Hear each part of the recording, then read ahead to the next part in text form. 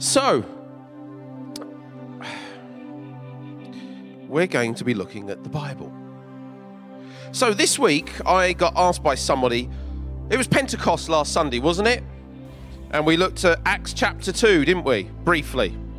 And we looked at the fact that, uh, obviously, just the fact that when the Holy Spirit came, the people of God were doing nothing other than sitting and eating. Yes? And you'd be really grateful there are no oranges here today. For those who don't get that joke, I was throwing oranges on last Sunday at everybody. I haven't been sued yet. We're doing all right.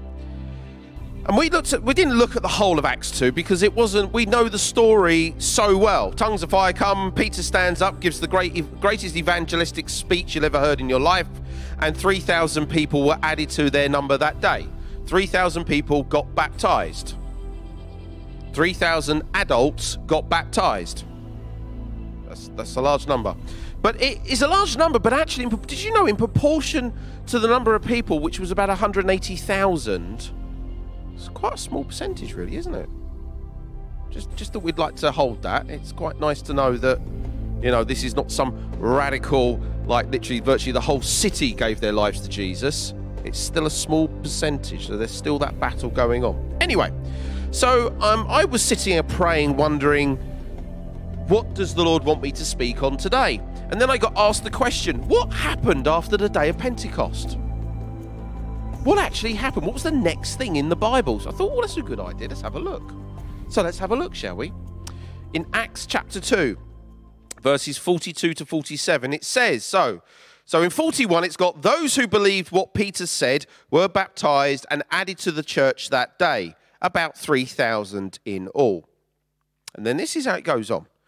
All the believers devoted themselves to the apostles' teaching and to fellowship and to sharing in meals, including the Lord's Supper, and to prayer. A deep sense of awe came over them all, and the apostles performed many miraculous signs and wonders. And all the believers met together in one place and shared everything they had. They sold their property and possessions and shared the money with those in need. They worshipped together at the temple each day, met in homes for the Lord's Supper, and shared their meals with great joy and generosity. All the while praising God and enjoying the goodwill of all the people. And each day the Lord added to their fellowship those who were being saved. Well, doesn't that sound idyllic? I read that and I thought, oh, that's idyllic. Look at that. It's all going really, really smooth. They meet every day together. They sell their possessions, all of them. They share with everybody in need. They, they literally are always joyful and cheerful, according to that passage. Isn't it idyllic? Let's break it down a bit, shall we? So let's look at these four ideal moments. So, first and foremost, all the believers devoted themselves to the apostles' teaching. So, the apostles being part of the first 12 and effectively the, the overseers of the early church. Don't forget, this is the church just starting to form. And so the people devoted themselves to the teaching. Now, that devoted meant they, they didn't just listen, but they actually applied what they learned. Does that make sense? You can come to church and just listen to me rabbit on or chuck oranges at you, but if you don't apply what's actually being taught, doesn't mean anything. So they devoted themselves. Now, I have to say, as a pastor, please, thank you. Devote yourselves to the teaching. As it says in Hebrews 13, verse 7. As it says in Hebrews 13, verse 7. Come on. Some of you know this because I rabbit on about it non stop. Obey your spiritual leaders. You're all quiet. They devoted themselves. And we know that if you look at verse 46, that in any given moment they, they gathered together, mainly in the temple, because don't forget that was their central place by a particular colonnade. And they gathered each day. So, dare I say for us that maybe Sunday should be a good gathering to devote yourselves to the teaching of the apostles. Each Sunday. It would be nice to do it every day. Yeah, do, you, you devote yourselves to the Bible reading. That's good. We'll come to that, Denise, in a minute. Thanks. Don't jump ahead in my sermon, please. Give, give me a break. So, um, Hebrews 13, verse 7 obey your spiritual. Anyway, um, and dare I suggest house groups if you're not part of a Bible study group, join one. It's all gone silent. Have you got to apply what they did then to what we do now? Now, it was regular in their society to go to the temple every day. Do you know why? Because they didn't have Netflix distracting them. They didn't have these things keeping them occupied. Because obviously, these are really important. I mean, to keep up with the latest YouTube clip is really important, yeah? the latest Apple news that comes online. Really important. So they would, and you know, they, they sacrificed watching TV. It was amazing. Would go to the temple. Repeats of Frasier on Channel 4 on a Sunday morning they didn't get involved in. They actually went to the temple. It's amazing. I mean, that's sacrifice, isn't it? You're all giggling. You're all going, oh, right, he's right. So they went to the temple every day to listen because they were hungering genuinely after the Lord. So it wasn't they listened to the Jewish teachers, they listened to the apostles' teaching in a colonnade. You could gather in various places. So imagine this is a colonnade just for a moment. This this one that's getting finger marks already. This is a new wall. Anyway, they would gather around a, like a colonnade and they would gather and they would listen. Wouldn't it be good? Yeah? Did you get the point? So we don't quite do that because we have those incredibly excellent things called Netflix, mobile phones that clearly should distract our lives completely, yes? They should, yeah. Thanks, Akin, yeah. The, the Amazon Echo or Alexia or whatever her name is, I mean, clearly she is the god of of the household, yeah? No, but strange how we devote ourselves to it. Anyway, can I suggest we clearly in our society it is very different in the way that things are, and we can't always gather in a temple every night. Well, we could actually. We could. There's no reason why we couldn't. You're right. There's no reason why we couldn't. Well, that's shocking you all, isn't it? You're all like, oh, hang on. But we all recognize we work. People work shift patterns. People work 24 7. People have families. People have different ways. Our society is slightly made up differently. But I would suggest that we can devote ourselves to teaching by actually maybe attending house groups, reading our Bible every day, listening to clips. If you can't make church, most sermons are online. Just think about it. This is the early church. We went, oh, it's idyllic. Well, it starts with us. If you want the ideal church, it starts with us. Anyway, next thing they did they devote themselves to the apostle teaching and to fellowship. Fellowship. Now, what was the one reason? Did you hear what I heard? The key reason why you're all here this morning was to, which is basically getting together in Christ's love.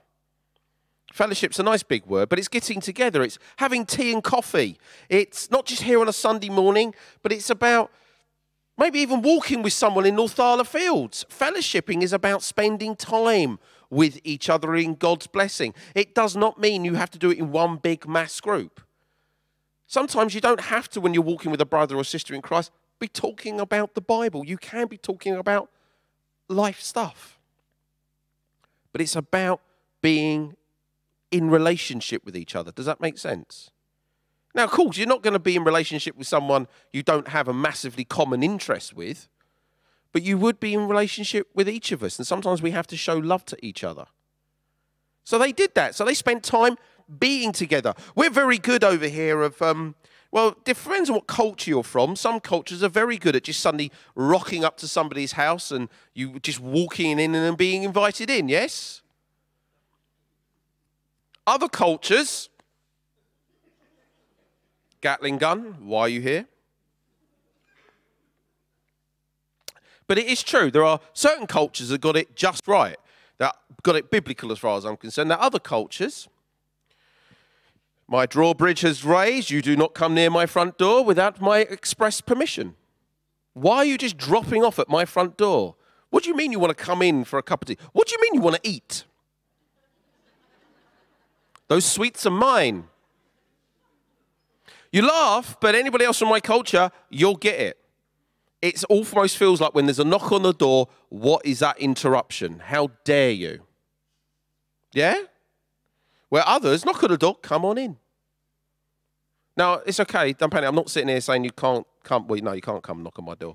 Because um, my three cats will scream at you. No, no. Um, I'm being funny in that. But I'm just saying we've got to be careful. We, we, you know, part of fellowship is, is allowing ourselves to be opening, to be welcoming. It's called hospitality, last time I checked. And that's what they move on to the next one. So they're sharing in meals here. They're not just sharing Sunday lunches, but they're also breaking bread. And, and by the way, I know it says in this translation here, including the Lord's Supper that's a little bit, we're not quite sure if they quite meant the Lord's Supper there in that passage. I, I feel that's why it's in the NLT, it's in brackets. Um, not quite sure, but what they most certainly did was share sharing meals. So, what did we do last week? We shared a meal, didn't we? And it's the same thing here. Now, tea and biscuits are okay. It doesn't have to be some big exotic meal round your house if somebody wants to come round. Unless it's me. If it's coming round, I want a big exotic meal. It doesn't have to be, but it's about sharing of food. Because actually, when you invite somebody to your table, back in their culture and in ours, it's a big deal. If you're welcoming somebody to your table, you are literally saying, You are welcome, welcome, in the deepest sense of the word. I'll be up front. British culture are very good at turning around and going, after about five minutes while you're in it, oh, would you like a cup of tea? And it's done in a, please say no.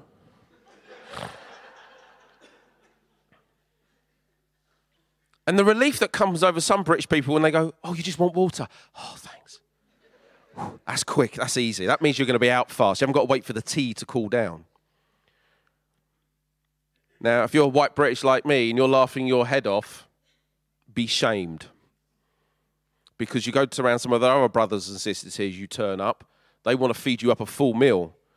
Even if you might be full already, you accept because they are welcoming you to your table.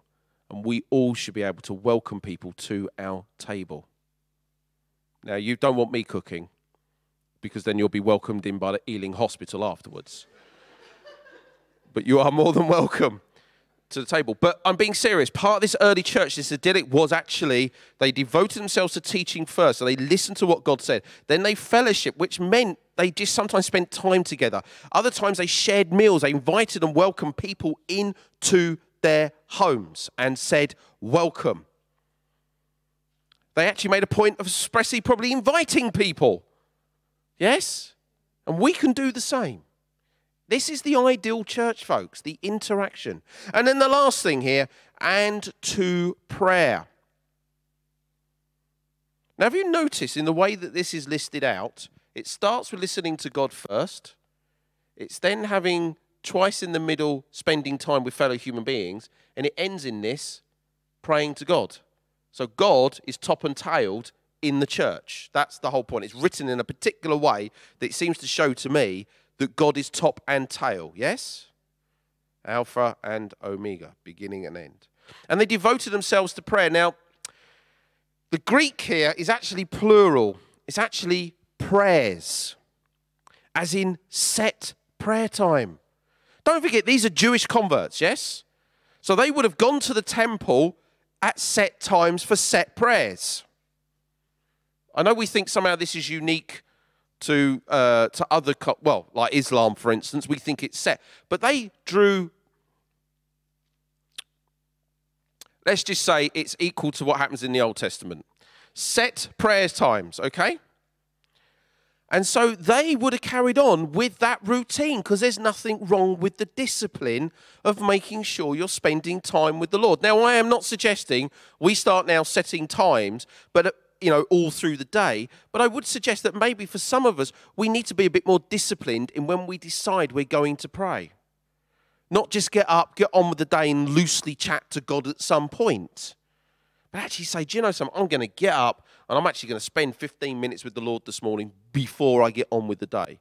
And then maybe lunchtime, I'm going to fast. And actually, I'm going to spend that time worshipping and praising the Lord and praying to Him. Do, do you see what I'm getting at? Or not doing the very good thing that I did for early years, my Christianity. I'm just about to go to sleep. Let me quickly say, Thank you, Lord.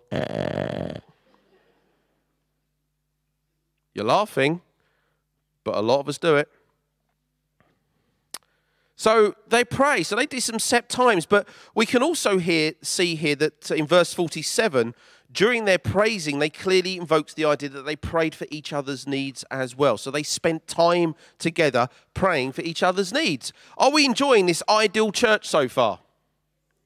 So I would suggest to you, what can we do to continue on praying? Well, set times of prayer. Last week, um, if you may recall, we we, for some of us, leading weeks, we signed up to praying overnight. Take an hour slot and pray overnight. We're going to be doing that again later on in the year. Prayer Tower, 8 o'clock, Monday evening. It's back. We can use it. It's For those who don't know, behind that white door is a set of stairs that takes you up to a room that we call the Prayer Tower. Currently, I think there's the grand total of three people Eight o'clock for an hour, praying for the church, for the community. Well worth it, yeah? And maybe also, when involving praying for each other, maybe coming together in prayer triplets. Some of you already are, I know, in prayer triplets. You, you, you meet with people and you pray together. And these days, I've learnt through modern technology, sometimes this is useful, you don't need to actually do it together together. Some people actually do it by Skype or, or what's the up FaceTime, yeah, or whatever. Because recognize that some people work away from Greenford during the week, but you can communicate by prayer with this. This is not all evil, it can be used for good. So, the ideal church, devoted to the apostles' teaching, devoted to fellowship with each other, devoted to sharing meals, and basically showing genuine love and care for each other. And you do that by praying as well. I thought it was quite interesting. This is how the church formed, and this is how the church should be today. So I looked at this and I thought, what's the overarching theme of those four things? Can you see it? Unity. They were unified. They were unified in their devotion to the Lord and their devotion to each other. Now, I am not going to sit here and say that relationships weren't probably fractured in this, but the point was they were unified in the Lord and they were working towards things. I'm not saying we're fractured here, hear me carefully, but what I'm saying is it is unity that kept them bonded together. And our society is very good. I laughed about the TV stuff and all those and these phones, but these keep us fractured from people, don't they? Whenever I go on public transport, and I really don't like public transport, but I'm amazed. You plug this in your ear hole, or you're like this, you ain't seeing anybody else in the room or on the bus. There's no unity there. And the problem is that invades us, my brothers and sisters. And that's just one example of how we're no longer unified because we're too individualistic. We stare at this and not connect with each other properly. Does that make sense?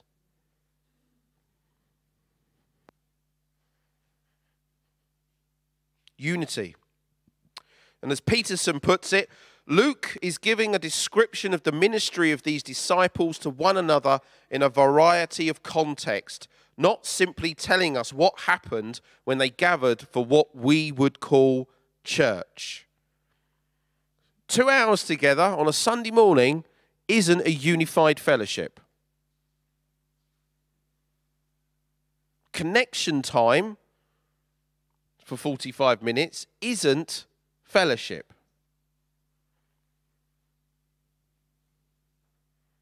It's what we also do through the rest of the week with each other. When somebody's down, got problems going on, what they want to do, they want to hear from other people in the church. When life is going great, you want to hear from other people within the fellowship. It's unity, it's what holds the church together.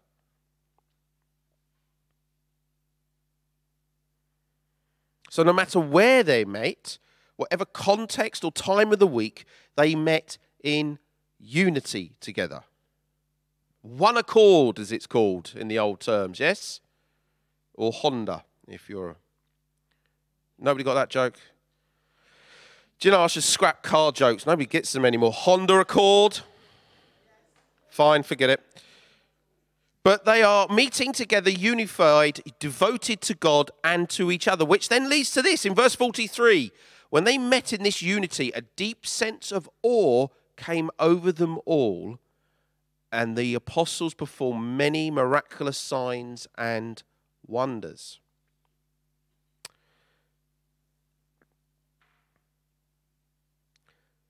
I want us to concentrate on this concept of meeting in a deep sense of awe. Awesome. That's awesome. No, am I? Nobody hears that out there? Man, that's awesome. Dare I say, OMG, that's awesome. No, that's something to do with Love Island. That's not awesome. I don't watch it but I just know it makes the trash press of just about every three seconds, doesn't it? Oh, or suddenly a new movie comes out and we go, oh, that's so awesome. Such an overused word. There's only one that is awesome, and that is our. I, I, I looked at this and I thought, yeah, awe. When we meet to God, we meet in awe of Him. Does that make sense? Um,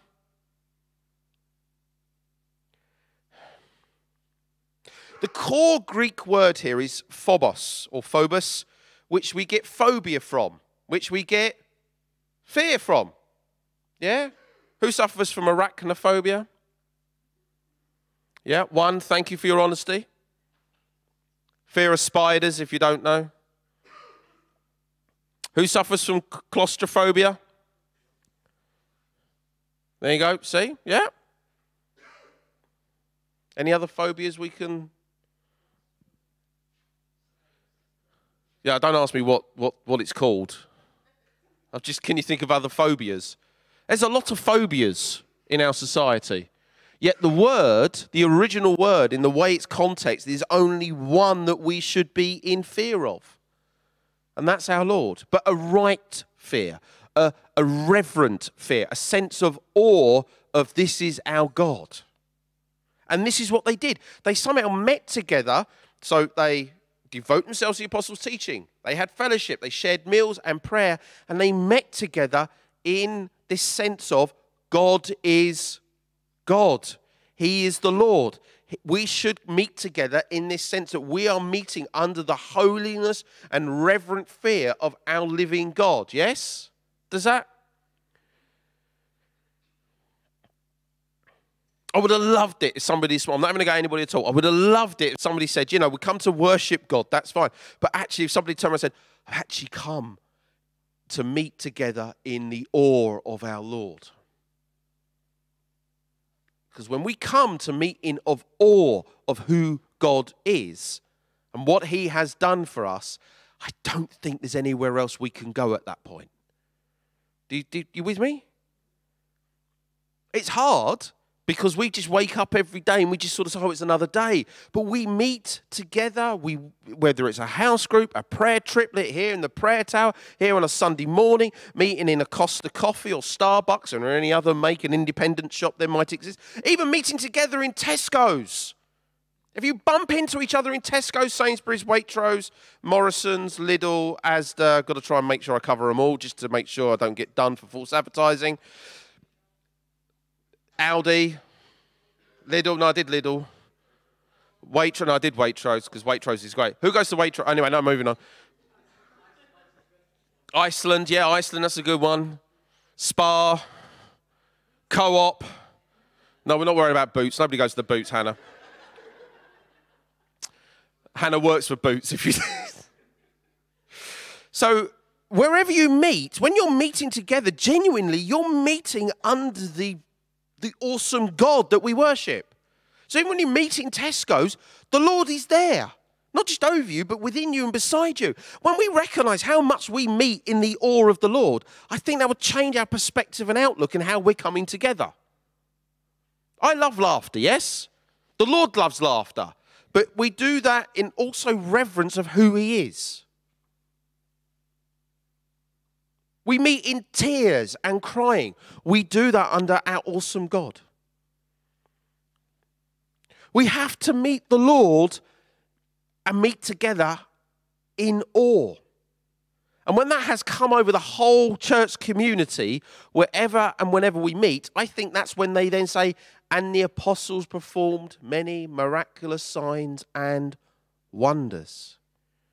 It is about recognizing who God is. And when we recognize who He is in our midst, many other things can come out from that. Our love for each other will flow out from that. We will see signs and wonders and performing going on because we actually accept the Lord for who He is. Who's our holy, holy meaning completely other an awesome God. With me? It's like the story of Jesus. You know, in Jesus, he was able to perform lots of miracles and whatever else, but when he went to his hometown, he couldn't do very many. Why? Because they did not accept him for who he was. So therefore, then that can't be honest. If you don't accept someone, if you, if you don't accept somebody, I know, if you don't accept me as the pastor coming into your home, that sort of authority as the pastor won't exist. Does that make sense? You know, you accept a prophet in your home home. If you don't accept somebody as a prophet in your own home, then then no, no prophetic words are going to come out. And so it's the same thing here. If we do not accept how awesome truly when we come together our God is, then the signs and the miraculous doesn't happen.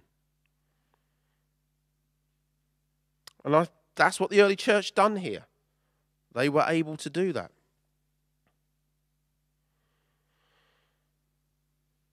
So it carries on in this idyllic church. And all the believers met together in one place and shared everything they had. They sold their properties and possessions and shared the money with those in need. So, first and foremost, verse 44 is basically they met in one place together. In other words, they didn't stop meeting together. Does that make sense?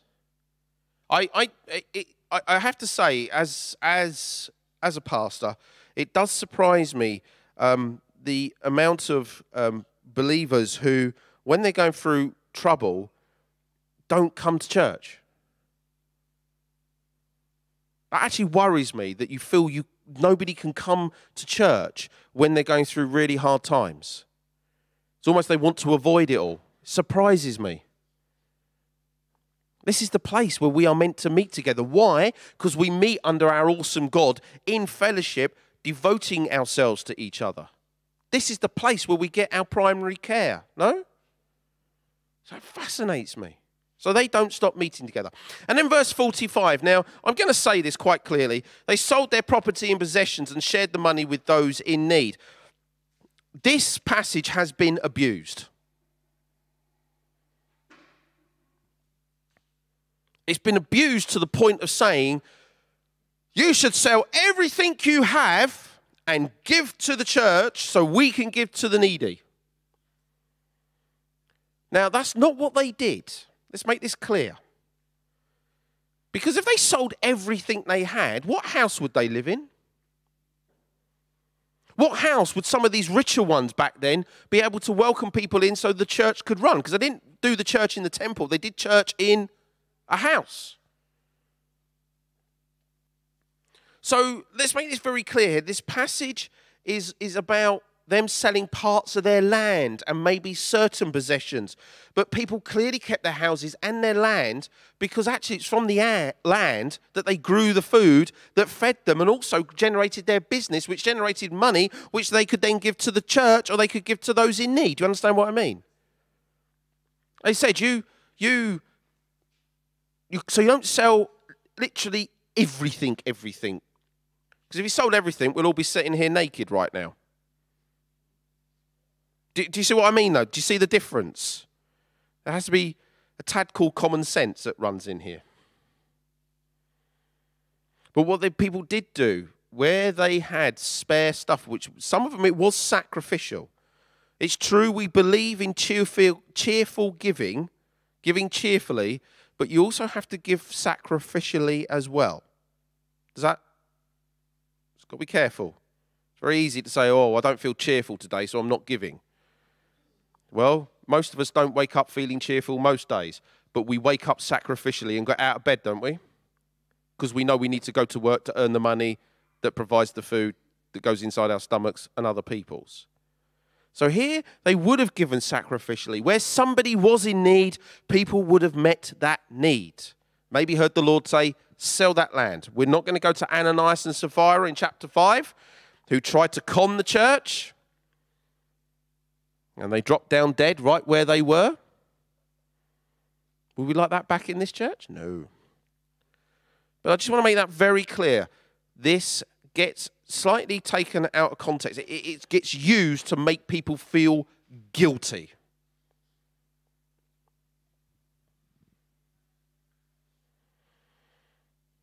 And then it finishes off.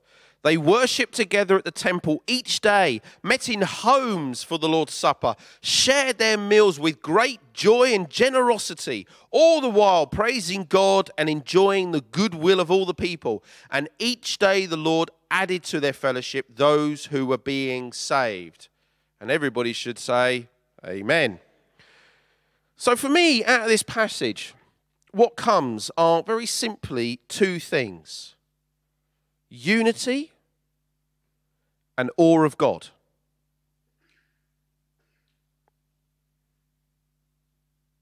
If you want the ideal church, and we want added daily to the number here, it is by our love for each other that Jesus said that they would know, we would know Jesus. It's by, they would know Jesus by our love for each other in the way that we love each other.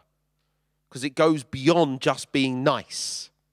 It has a sacrifice about it. It has about caving into my desires and my needs. And it might even means I've got to stop that Netflix program tonight because somebody needs me to spend time with them. Yeah? It's unity. It's spending time fellowshipping. It's spending time reading God's word and learning from it and acting upon it spending time praying together. We have prophecies. I noticed for the first time it's, it's not up there because the screw needs to go in the wall.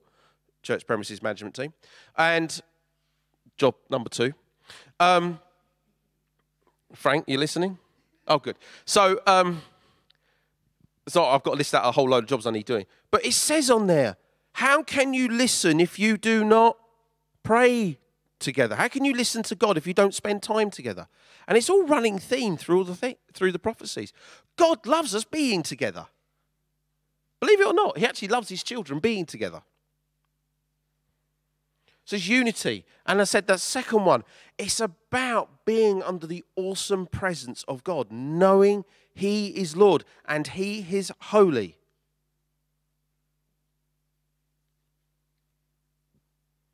That's the ideal church.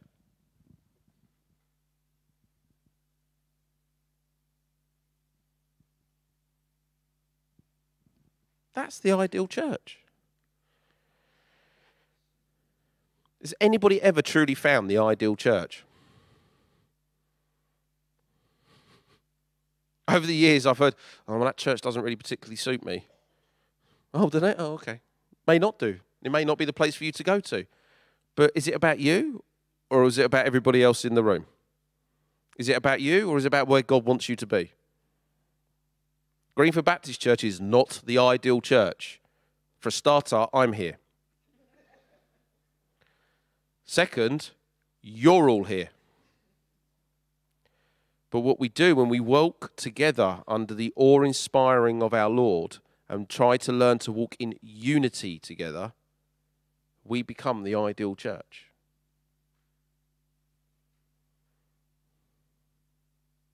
Amen.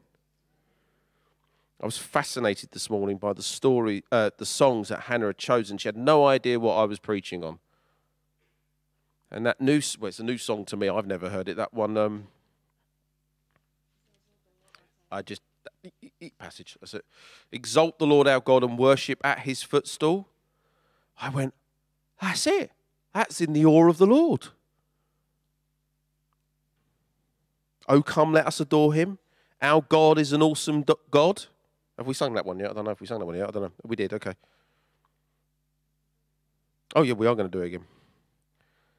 But the whole point being is that our Lord is awesome. And when we come together, when you come together, maybe when you just meet up with one or two other people, come together knowing God is awesome. And just love each other.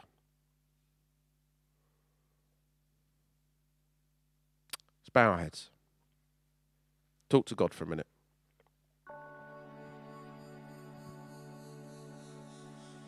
Lord Heavenly Father, I want to thank you for our early brothers and sisters.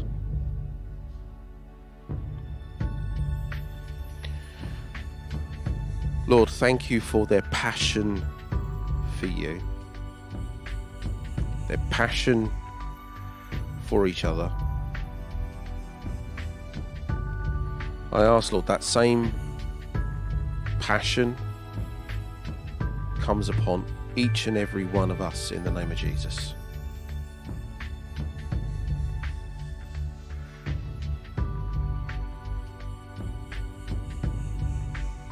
How, in each of our individual contexts, Lord, that works out is between us and you. But Lord, that passion of devoting ourselves to your word and listening to your teaching, that passion for showing love and fellowshipping and being hospitable to each other and that passion for prayer together. Lord, bring it for each and every one of us in the name of Jesus. Lord, give us a real, real different sense of what it means to be worshipping and meeting under you, the awesome God, the awesome Lord who loves us so much that in your awesomeness you sent your Son to die for us so that we have eternal life. Help us understand how much every day we're under your loving arms, but awesome, holy arms. In the name of Jesus, Amen.